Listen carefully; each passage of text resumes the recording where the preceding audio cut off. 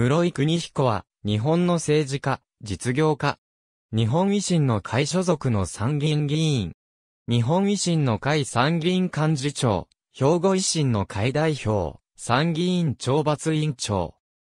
衆議院議員、国土交通大臣政務官、旧日本維新の会国会議員団幹事長、代理県参議院幹事長、維新の党幹事長。代理県参議院幹事長、兵庫県議会議員、尼崎市議会議員等を歴任した。京都府京都市生まれ。兵庫県立尼崎西高等学校卒業、追手門学院大学中退。1969年、室井運輸、株式会社入社。1970年、同社代表取締役に就任するが、室井運輸は1984年に廃業。その後、有限会社室井を設立し、同社代表取締役を務める。1983年、尼崎市議会議員に初当選し、一期務める。1991年に、兵庫県議会議員に当選し、県議には2期5年間在職。また、尼崎青年会議処理事長を務めた。1996年、兵庫県議を2期目の任期途中で辞職。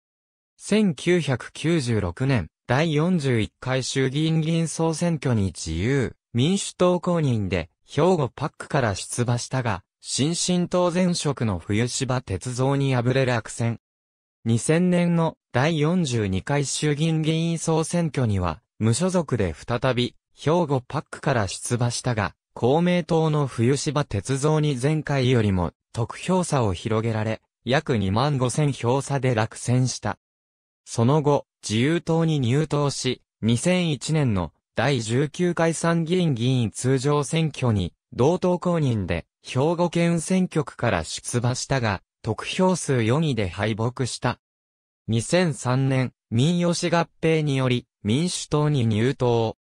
同年の第43回衆議院議員総選挙に、民主党公認で、兵庫パックから出馬し、選挙区では公明党の冬芝鉄道に敗れたが、重複立候補していた比例近畿ブロックで復活し、当選。2005年の第44回衆議院議員総選挙では、兵庫パックで冬芝に敗れ、比例復活もならず落選した。2007年の第21回参議院議員通常選挙に民主党公認で比例区から出馬し、72,544票を獲得して、党内18位で当選。2011年、野田内閣で、国土交通大臣政務官に任命され、野田第二次改造内閣まで務める。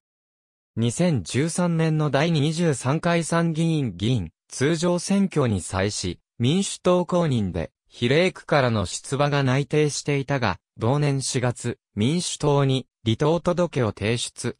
5月8日に、平田健二参議院議長に辞職願いを提出し、参議院議員の辞職が許可された。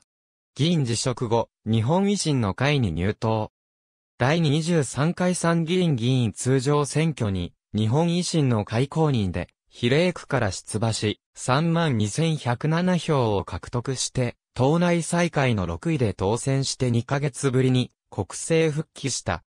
2014年6月の日本維新の会分党に際しては、橋本徹大阪市長らのグループが結成する新党への参加を表明し、党国会議員団幹事長、代理県参議院幹事長に就任。橋本らのグループへの UI の党の合流に伴い、2014年9月21日に、決闘した維新の党に参加した。同月党国会議員団幹事長代理に就任。また党兵庫県総支部最高顧問に就任。さらに、維新の党とみんなの党の同州制度、合同調査会幹事長などを務めた。その後の維新の党の再分裂騒動に際しては、民主党との合流否定派である、大阪維新の会に参加、参議院幹事長に就任する。旧民主党出身議員のほとんどが古巣である民進党参加を選ぶ中、大阪維新の会側に参加したのは、衆議院議員の小沢栄人と室井の二人であり、内結成当初から参加するのは室井のみである。2019年1月28日、参議院懲罰委員長に就任した。2019年7月21日の第25回参議院議員通常選挙に比例区から出馬87,188票を獲得し、党内2位で参戦。ありがとうございます。